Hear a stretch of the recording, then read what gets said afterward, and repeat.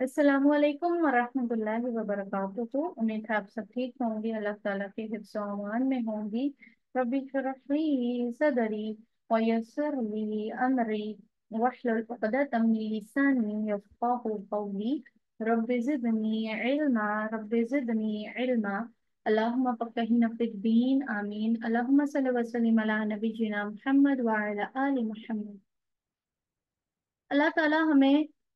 آیت نمبر 108 میں بتا رہے ہیں کہ اللہ تعالیٰ نے کس طرح سے یہاں پر ہمیں رسول اللہ صلی اللہ علیہ وسلم سے کی ہوئی بات ساری کلیئر کیا اللہ تعالیٰ کہہ رہے ہیں کل آپ کہہ دیں، حاضی ہی یہی، سبیلی میرا راستہ ہے، ادعو، میں دعوت دیتا ہوں اللہ اللہ تعالیٰ کی طرف۔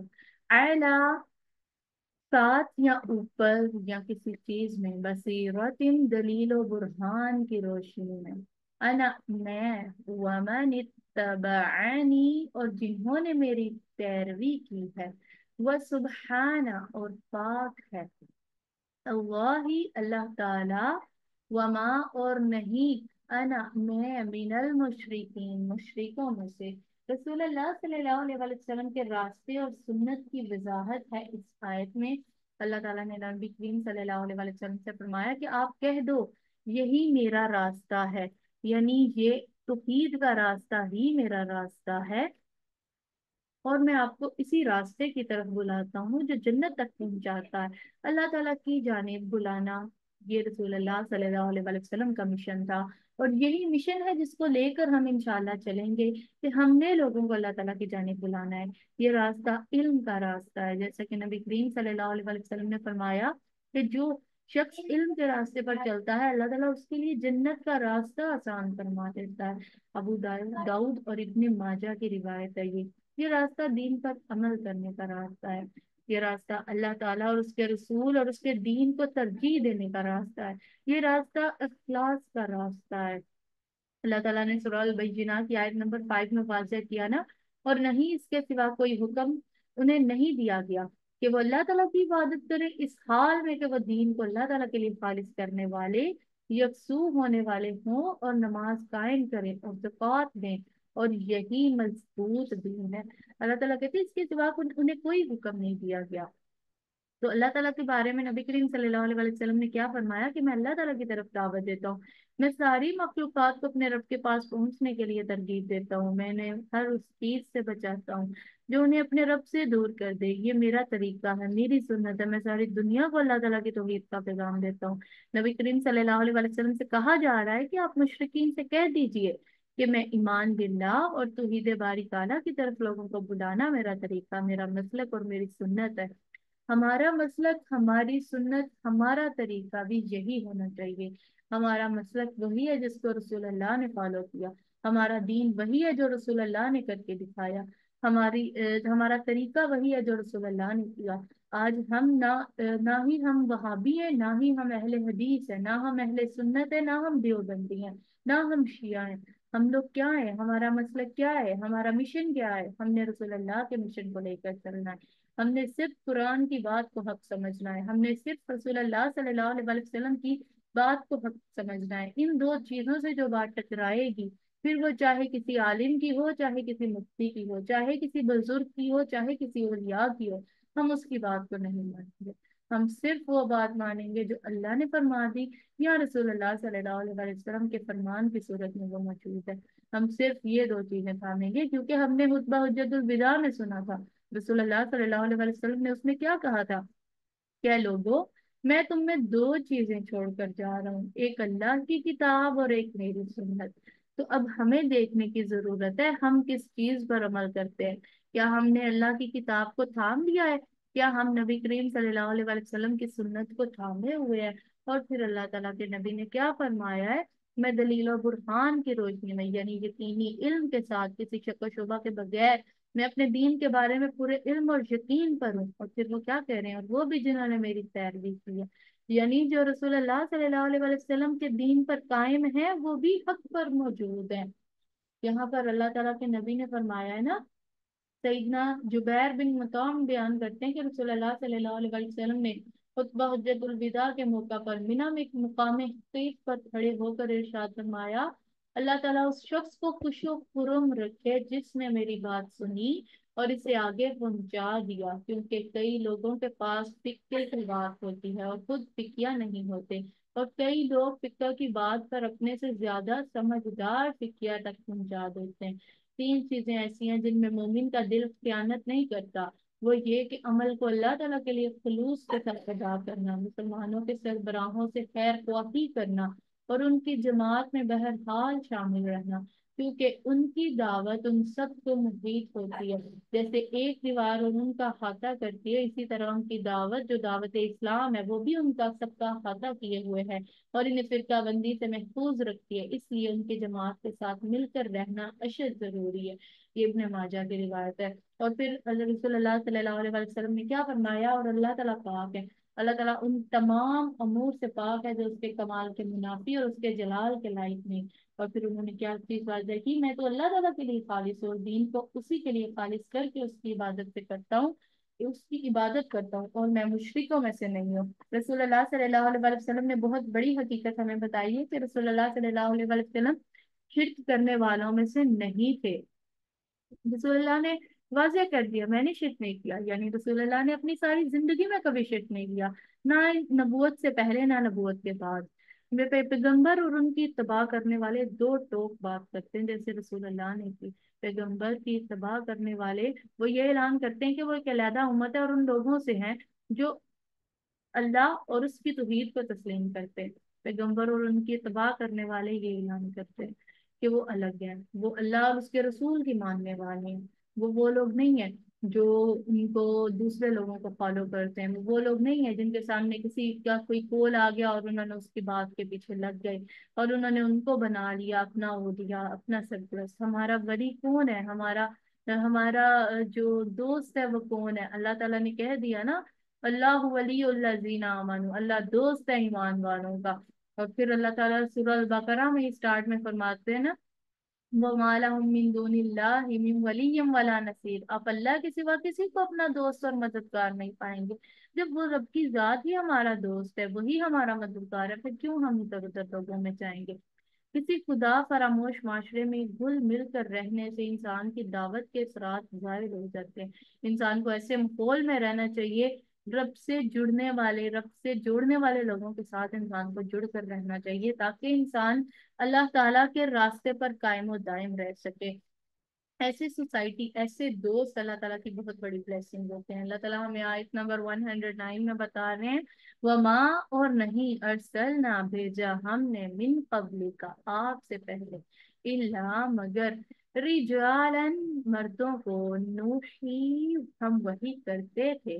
الیہم ان کی طرف من اہل القرى بستی والوں میں سے۔ افلم تو کیا نہیں یسیرو وہ چلے پھرے فل اردی زمین میں۔ فینظرو کہ وہ دیکھے کیفا کیسا کانا ہوا عاقبت انجام۔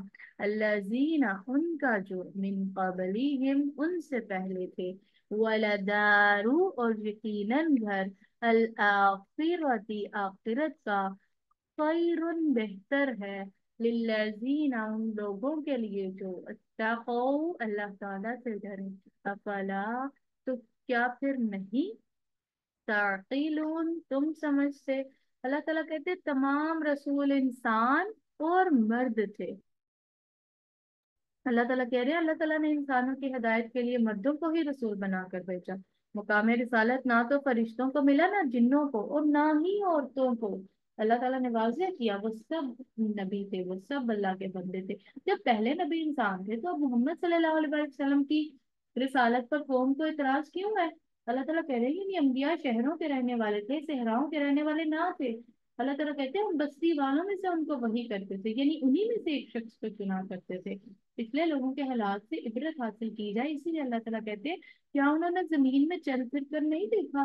یعنی اللہ تعالیٰ نے رسول اللہ صلی اللہ علیہ وسلم کی قوم کے بارے میں فرمایا کہ نبی صلی اللہ علیہ وسلم کے مان کو نہ ماننے والوں نے دنیا نہیں دیکھی۔ یعنی جب وہ آپ صلی اللہ علیہ وسلم کی بات نہیں مانتے تو ذرا دنیا کو تو گھوم پھر کر دیکھ لیں۔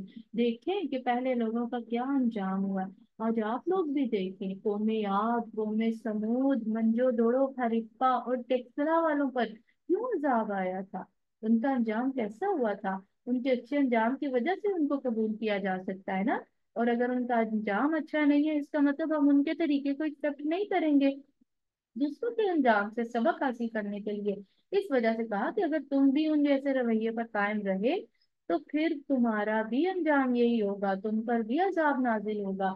تو آج ہمیں بھی گھوم پھر کر دیکھنے کی ضرورت ہے، کون لوگ تھے جن پر اللہ تعالیٰ کا عذاب آیا تھا؟ اگر لوگ پچھلی قوموں کی ہلاکت سے آگاہ ہو جاتے، تو انہیں یقین آ جاتا کہ اللہ تعالیٰ ایمان والوں کو بچا لیتا ہے اور کافروں کو اللہ تعالیٰ عذاب سے ہلاک کر دیتا ہے۔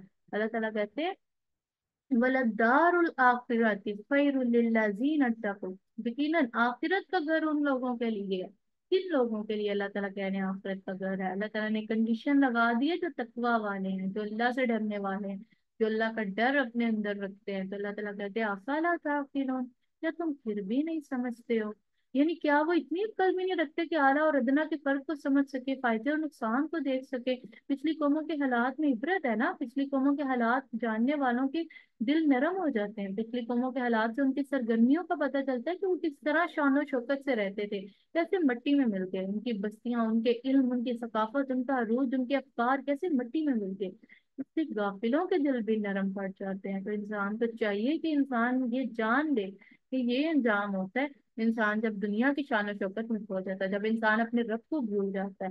اللہ تعالیٰ آیت نمبر 110 میں کہہ رہے ہیں، حتیٰ حتیٰ کہ اذا جب استئی ایسا مایوس ہو گئے اور رسول و رسول وظنوا اور سمجھا انہوں نے انہم یقیناً وہ، قد واقعی کذبوا ان سے جھوٹ کہا گیا تھا۔ جاءہم، پہنچ گئی ان کو۔ نصرنا مدد ہماری۔ فنجیا، پھر بچا لیا گیا۔ من جسے نشو ہم نے چاہا۔ ولا، اور نہیں۔ یردو، ٹالا جاتا۔ بأسنا، عذاب ہمارا۔ عن القوم، قوم سے۔ المجرمین مجرموں کی اللہ تعالیٰ کہہ رہے ہیں انبیاء اکرام علیہ السلام کو مشکل اوقات میں مدد سے نوازا جاتا ہے۔ اللہ تعالیٰ نے یاد دلایا ہے کہ مشکل حالات اور نازک اوقات میں اس کی طرف سے رسولوں پر فتح اور نصرت نازل ہوتی ہے۔ اللہ تعالیٰ کہتے ہیں نا کہ وہ لوگ تو حتیٰ کہ رسول مایوس ہو گئے۔ جب انبیاء کو ان کی قوم کے مجرم جھٹلا دیتے ہیں اور اللہ تعالیٰ نے مفلت دیتا ہے تو محبت یہاں تک آتی ہے کہ وہ چاروں طرف سے گر کر مایوس ہو جاتے ہیں اور ان کی نظریں اللہ تعالیٰ کی رحمت پر لگ جاتی ہیں اور ان کی پیروی کرنے والے سمجھنے لگے کہ ان سے جو دشمن کی ہلاکت اور پتہ نصرت کے وعدے کیے گئے، ان کے خلاف کیا گیا ہے۔ پھر اللہ تعالیٰ کہتے تو این وقت پر اللہ تعالیٰ کی مدد آ جاتی ہے اور پھر اللہ تعالیٰ اپنے انبیاء اکرام علیہ السلام کو اور ایمان والوں کو بچا لیتے ہیں۔ آزمائش آخری مقام تک آتی ہے۔ اللہ تعالیٰ کے آگے نہ کسی کی نہیں چلتی۔ اللہ تعالیٰ کی مرضی چلتی ہے۔ تو انسان کو چاہیے کہ اللہ تعالیٰ کو ہو کر زندگی گزارے۔ اور پھر اللہ تعالیٰ کہتے ہیں، اور مجرموں سے ہمارا عذاب ٹالا ہی نہیں جاتا ہے۔ یعنی اللہ تعالیٰ کے عذاب کو مجرموں سے دور نہیں کیا جا سکتا۔ جو شرک اور نافرمانیاں کرتے ہیں، اللہ تعالیٰ کے آگے ان کی نہیں چلتی پھر وہ پھر اللہ تعالیٰ کے عذاب سے ہی روکنار ہو جاتے ہیں۔ آیت نمبر 111 میں اور لاسٹ آیت میں اللہ تعالیٰ ہمیں بتا رہے ہیں کہ کس طرح اللہ تعالیٰ کہہ رہے ہیں، لقد بلا شبہ یقینا کانا ہمیشہ سے ہے۔ فی قصصہم ان کے واقعات میں۔ عبراتن بڑی عبرت۔ لئول الالباب عقل مندوں کے لیے۔ ماں نہیں کانا ہے حدیثن ایسی بات یفترا جو گھڑ لی گئی ہو۔ ولیکن لیکن تصدیق تصدیق ہے الذی اس کی جو بینا یدئی بھی ان کی آگے ہے۔ و تفصیل اور تفصیل ہے۔ کلی ہر شئی ان چیز کی۔ وہدن اور ہدایت ہے۔ و رحمتن اور رحمت ہے۔ لقوم لوگوں کے لیے یؤمنون جو ایمان لاتے ہیں۔ قوموں کے واقعات میں کل مندوں کے لیے عبرت ہے یعنی قوموں کے واقعات میں انبیاء کے حالات میں، ایمان والوں کی نجات اور کافروں کی ہلاکت میں عقل والوں کے لیے بڑی بڑی نشانیاں ہیں۔ پچھلے پیغمبروں کہ لوگوں کے قصے عبرت کے اعتبار سے تمام لوگوں کی کہانیاں ہیں۔ انسان عقل سے کام لے تو وہ ماضی کے واقعات میں اپنے حال کے لیے نصیحت حاصل کر سکتا ہے۔ انسان دوسروں کے حالات کو دیکھ کر اپنے حالات کو درست کر سکتا ہے۔ اللہ تعالیٰ کہتے کسی کے لیے ایسی بات نہیں تھی کہ وہ گھڑ لی گئی ہو۔ قرآن مجید گھڑا نہیں جا سکتا۔ یہ اتھینٹک قرآن ہے۔ یعنی قرآن مجید ایسی کتاب نہیں ہے جسے کوئی خود سے بنا سکتا، جس کے ذریعے اللہ تعالیٰ غیب سے آگاہ کرتے ہیں۔ یہ وہ کتاب ہے۔ وہ گھڑی ہوئی کہانیوں پر مشتمل نہیں ہے۔ قرآن مجید کی یہ شان نہیں ہے کہ کوئی اسے گھڑ لے۔ قرآن مجید پچھلی کتابوں کی تصویر کرنے والا ہے۔ یہ اتھینٹک ہے، یہ حق ہے، یہ آپ کے رب کی طرف سے حق ہے۔ اس میں کوئی شک نہیں ہے۔ آپ کے رب نے قرآن کے آغاز میں کہتے نا ذالکل کتاب لا ریب فیہ۔ یہ وہ کتاب ہے جس میں کوئی شک نہیں ہے۔ یہ کتاب پچھلی کتابوں کے صحیح کو غلط سے، حلال کو حرام سے اور سچ کو جھوٹ سے علیحدہ کرتی ہے تحریف کو چھانٹ دیتی ہے منصوب احکام بیان کرتی ہے۔ اللہ تعالیٰ کہہ رہے ہیں تفصیل کل شعی اور ہر چیز کی تفصیل ہے۔ قرآن مجید میں ہر چیز کی تفصیل ہے، جس کی بندوں کو ضرورت ہے۔ اس میں اللہ تعالیٰ کے اسم و صفات ہیں، اللہ تعالیٰ کی بے مثال ہونے کی تفصیل ہے۔ اس میں دین کے اصول و فروغ ہیں، اس میں دلائل ہے جس سے دلوں کو نور، ہدایت ملتا ہے۔ اور عقل والوں کو صحت اور استقامت نصیب ہوتی ہے۔ اللہ تعالیٰ کہتے ہیں، اور ان لوگوں کے لیے ہدایت اور رحمت ہے جو ایمان لاتے ہیں۔ قرآن مجید ایمان والوں کے لیے ہدایت ہے جو گمراہی سے نکالتا ہے۔ اور خیر کا سر چشمہ اور رحمت ہے۔ یہ وہ ہدایت ہے جو انسان کو اندھیروں سے روشنیوں کا سفر کرواتی ہے۔ یعنی اس وجہ سے کہ اس قرآن کے ذریعے انہیں حق کا جو علم حاصل ہوتا ہے، وہ حق کو ترجیح دیتے ہیں اور انہیں ہدایت حاصل ہوتی ہے اور انہیں جو دنیاوی آخری ثواب حاصل ہوتا ہے، اس کے ذریعے سے وہ رحمت سے نوازے جاتے ہیں۔ ہم اللہ تعالیٰ سے دعا کرتے ہیں کہ اللہ تعالیٰ ہمیں بھی اس حق سے جو ہے وہ فائدہ مند کر دیں کہ ہم بھی اس حق کو قبول کرنے والے بن جائیں۔ اللہ تعالیٰ سے دعا ہے کہ یہ رحمت، یہ ہدایت جو ایمان والوں کو نصیب ہوتی ہے، اللہ تعالیٰ وہ ہمیں بھی عطا فرمائے۔